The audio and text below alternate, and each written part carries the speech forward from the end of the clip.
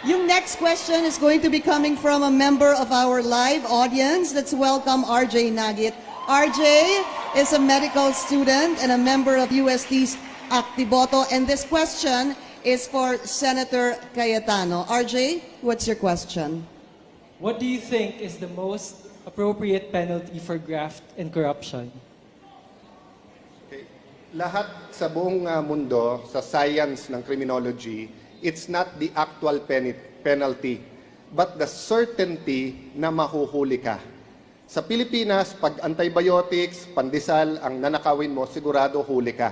Pero pag nagnakaw ka ng malaki, magiging congressman ka.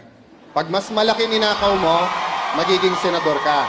Pag barkada mo si Napoles, eh syempre si Napoles, i-clear ka, barkada mo siya eh. Ba?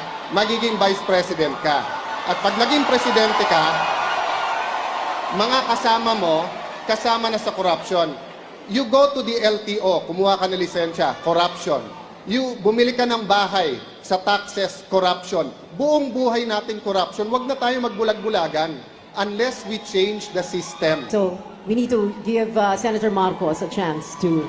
Uh, no, I was just wondering kasi sinasabi ni Senator Alan, pagka malaking ninakaw mo, maging congressman, mas malaki maging senador.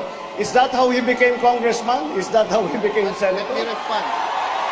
That's not how I became congressman. It's not how I became senator. Well, mga kababayan, alam kong sa Europe nag-aral si Senator Bongbong kahit peke yung diploma.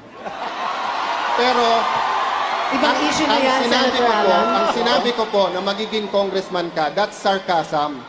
Because it applies to many, not to all. Okay. Kung ako'y naging congressman dahil corrupt, di sana hindi ako sumama sa EDSA 1, EDSA 2, hindi ako lumaban sa corruption ni Binay, hindi ako lumaban sa corruption ni Arroyo. But Senator Marcos, nasaan ka pag corruption ang pinag-uusapan?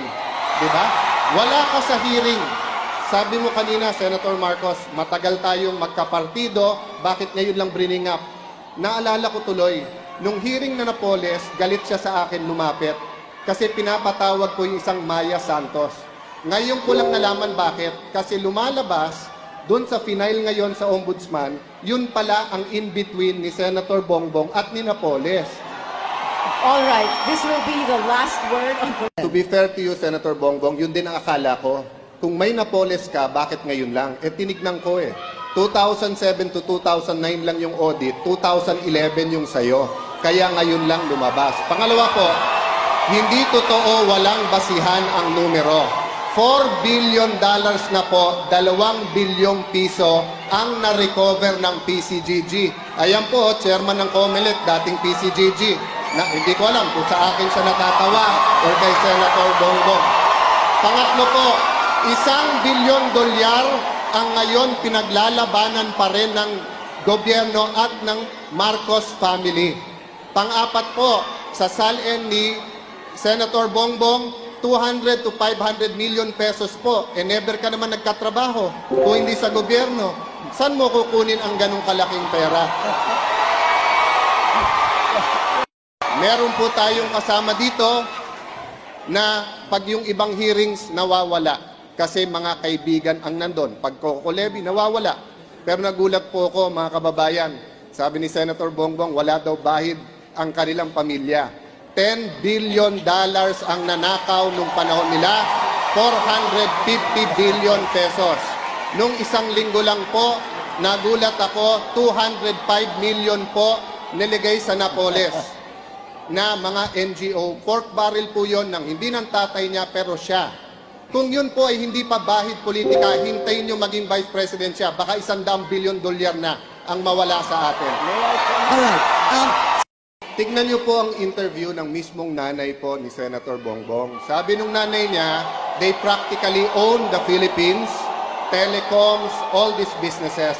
It's all on the record. I-google nyo, yung may telepono po ngayon, i-google nyo yung recovered ng PCGG. But ibahin natin usapan, sabihin nyo nang hindi totoo for the sake of this debate, kahit totoo. Anong hearing sa corruption nakita nyo nag-appear ang isang Bongbong Marcos? Kahit anong issue sa corruption, wala siya doon. Kami daw namumulitika kasi nilalabanan namin ang corrupt. Madali po mga kababayan, madaling magsabi kami anti-corrupt. Pero yung itaya mo buhay mo, itaya mo karir mo, awayin mo. Eh si Enrile, nakaaway nila, pero ngayon siya ini-endorse. Kaya hindi inimbestigahan ng mga negosyo ni Enrile dun sa Cagayan. Yun po ang klase ng paglaban nila sa corruption. Salita lang, walang gawa. Kung magkakabatas po, hindi ko hahadlangan yan kung yan ang gusto ng tao. Total, mas magaling naman asawa kong politiko sa akin. No? Pero yung sinabi po ni Senator Marcos na kalimutan pangalan namin, kalimutan history, eto po tanong ko, hindi isipin niyo lang po, no? whether you're for or against Wala him. po akong Isipin lang sinasabing po to. kalimutan ng history. Is- isipin niyo po Wag ka- to, ah. Huwag naman, alam, wag ka candidates- naman, wag ka naman Can I have 10 nag-invento. more seconds Wait, because Senator I'm being Cayetano, interrupted. Senator Marcos. Oras Sinabi ko ko, naman wag to. yung- yung Hindi ito mo. martial law na may walang rules. May Hold rules on, po hold on. dito eh. Hold on. Can we please request the candidates to Yeah. speak one at a time? So Ma'am, thank you, Senator Marcos. It's the Senator time of Cayetano, Can I it's have the my time. one yes. minute? You- O pati yun, nanakawin mo pa rin. Senator Cayetano? Yes, you can stick to the, to the Sabi question niya, po. burahin daw yung mga pangalan. Huwag mo titignan yung dynasty. Ito po tanong ko sa inyo. Have an open mind. If 30, 40 years from now, tumakbo po yung apo ni Napoles, wala siyang kasalanan sa ginawa ng kanyang lola, pero pera po ng lola niya na ninakaw sa inyo ang gagamitin sa kanyang campaign ads, sa pambigay sa mayor, sa pambigay sa lahat. No? So, ang dynasty po, meron talagang problema. Lahat po kami may problema sa dynasty, sa Liberal Party po. Dynasty ng mga abaya. And alam naman natin, napaka-corrupt na pagdating sa LRT, MRT, hindi masipa. Dynasty po na may kilalaman sa Weteng, sa Pampanga, ini-endorse sa mga liberal. Meron pong problema sa dynasty. How do we solve it? I don't know right now, but this is what I can tell you. Political will against corruption. Alam niyo po ba bakit ako nang-aaway? Nang-aaway po ako para buhay niyo ganyan. Pag hindi po ako nang away at tumahimik, ang buhay niyo po ganyan. Kaya pasensya na po kayo, sasabihin ko sa inyo ang totoo.